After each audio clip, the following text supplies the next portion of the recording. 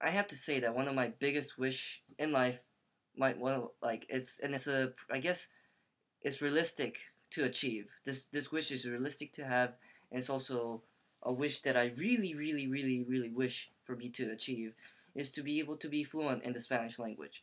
Um, it's such an important language to me, especially as a, a person who's in who's aspiring to be part of the nonprofit field or the profession, uh, being a social worker.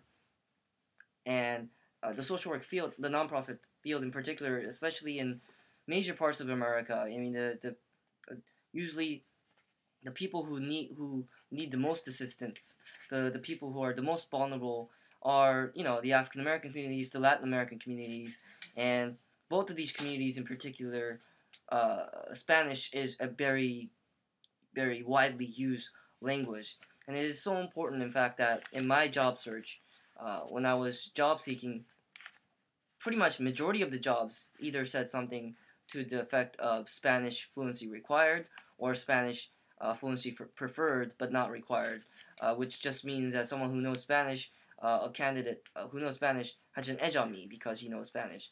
Um, but of course, he has an edge. He probably has an edge on me anyway because he probably has more experience and qualifications than me.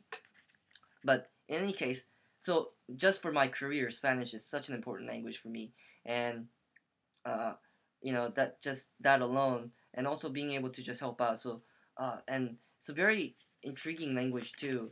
Uh, but so I'm trying. I think I, I had three years of three years of high school experience with the Spanish language, which really wasn't that helpful.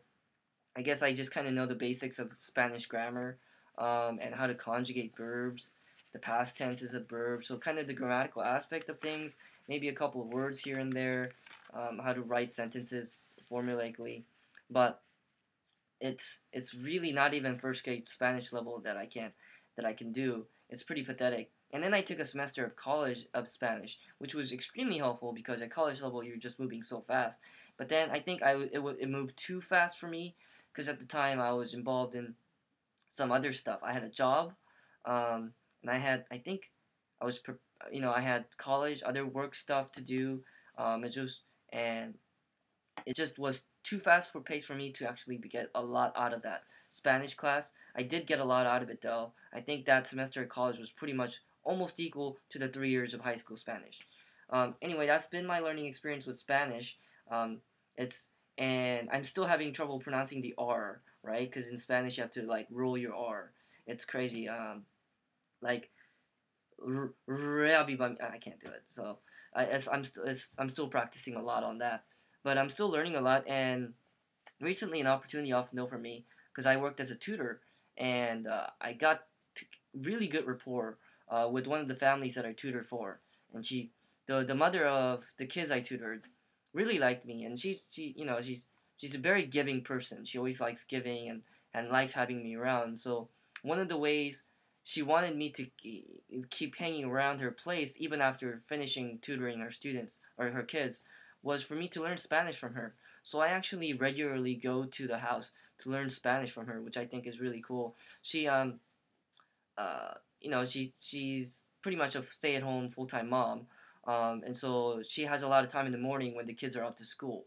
So and and during this time she usually has household chores, but then I can come in the morning and we work on we use two books. One is this uh, a very Christian book is Reavivamiento del uh, God was like the mayor necesidad de cristiano. I don't something like that. Like the major necessity of our Christian life. That's the translation of the Spanish language. We use that Christian book in order to uh, a very I guess a spiritual guidebook to learn Spanish. It's extremely hard. The language in that book is just hard.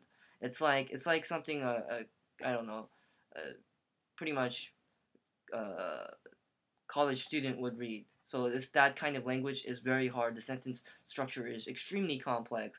The words used in that are very biblical and, and Christian related and it's hard it's hard reading. So we're practicing that. Every sentence I like come up with like six new words to learn and, and it's trying to figure out what the sentences mean is hard.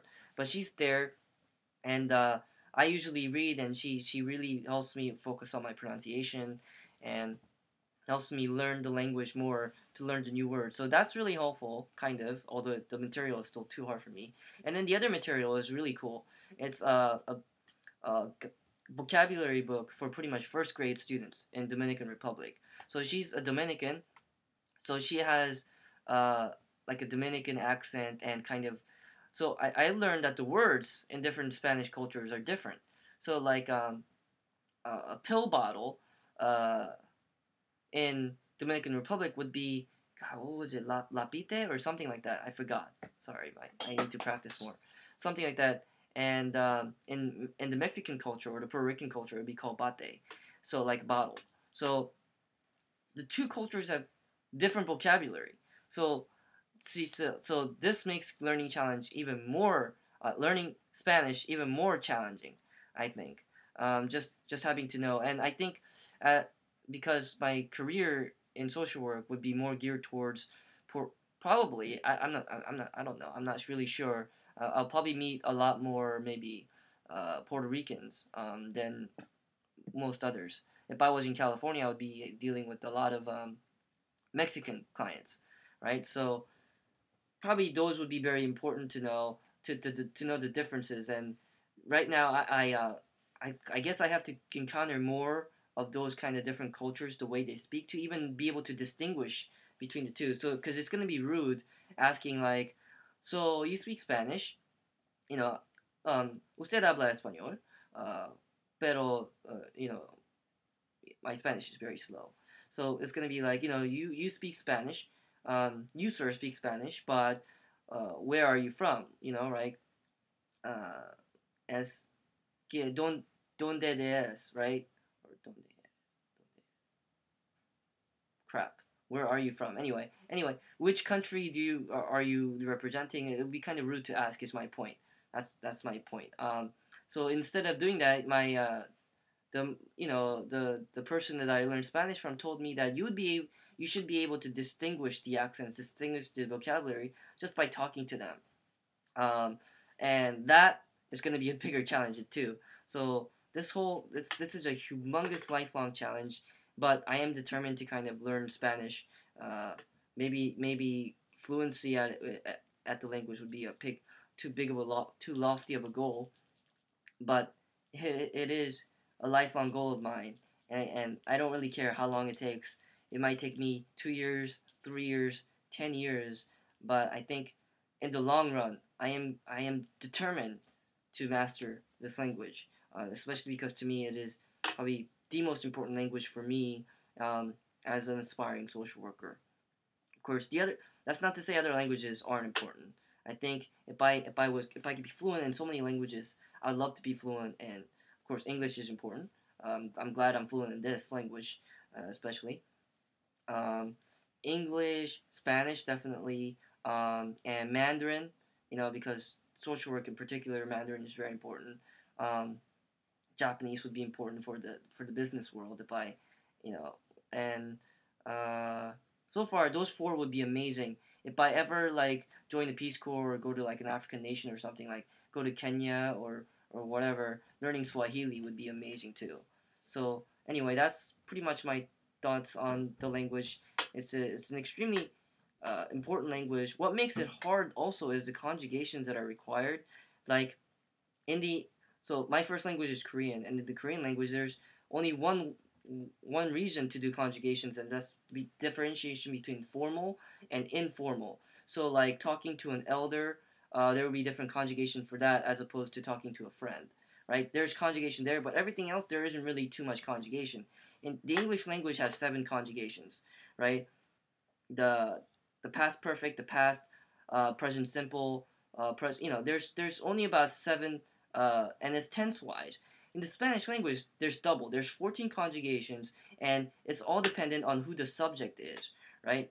Um, it depends on if you're talking to, if you're referring to yourself as yo, me, it's gonna conjugate the word. It's gonna make the verb different. So there's so many actual grammatical rules and conjugations to work through that. To me, makes Spanish very complex and kind of challenging to learn. But at the same time, because the Spanish language is a language that actually follows the rules unlike the English language where if there's a rule, there's always an exception to it. That itself makes it easier to learn, but at the same time very challenging to learn.